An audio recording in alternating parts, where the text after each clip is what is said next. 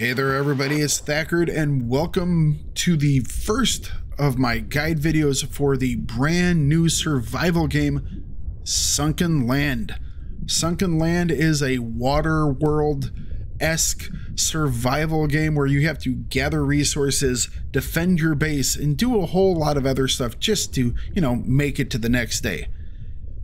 After streaming for about seven hours on release, I have come up with some helpful tips to give you a little bit of advantage early on in the game.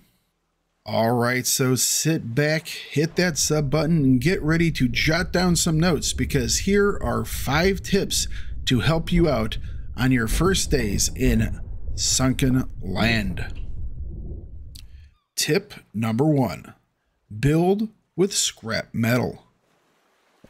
When you land on your first island, you will see plenty of trees to chop down. Resist the temptation to chop them down and build your first base.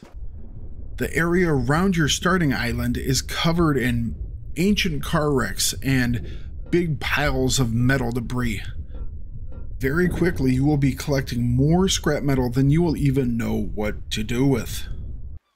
Building your starting base out of metal also allows you to keep the wood for the really important things, like cooking food and making clean water. Tip number two, only swim during the day. At night, it gets cold, and in the water, it gets really cold. Turn you into a popsicle types of cold. So make plans. Be in the water searching for debris and the things that you need, and then at night, be on land building your base or cooking more food or anything like that.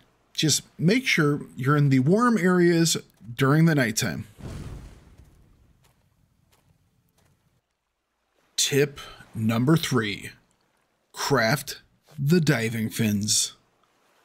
The diving fins allow you to swim faster underwater. That means in the normal breath that you have, you can then go and grab more scrap and more resources from underwater. To craft the fins, you are going to need marlin fish skin. So go grab yourself a weapon and get out into the ocean and go find some. Just remember that the fish you are looking for have the big, long, sharp, pointy noses. If something with big, long, sharp, pointy teeth comes at you, that's the wrong fish. Tip number four craft a marker flag. While the marker flag may look like a reject from a miniature golf course, it is actually quite useful. Placing one of these flags will put a flag icon on your screen wherever the flag is placed. You can change the color of the flag to, you know, pinpoint different locations that you might have interest in. It is very useful when you are out on the ocean because sometimes it is easy to get turned around and lose the island that you started at. Now you will always have a marker to go back to. Tip number five visit the trader. One of the things I suggest doing as soon as you possibly can is visit the trader. Not only does she have items that you could desperately use, like a fishing rod, although it is rather expensive, there is a lot in the way of resources scattered around the trader's outpost. We are talking scrap metal, we're talking cloth, we're talking foodstuffs, we're talking clothing, we're talking rubber.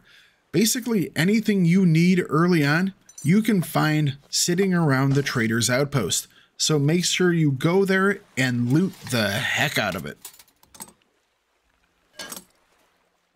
If you found these tips useful, please make sure you like the video.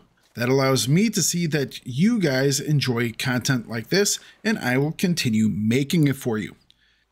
If you have any questions or you would like me to cover something new, in a future video, please leave all that down below in the comments.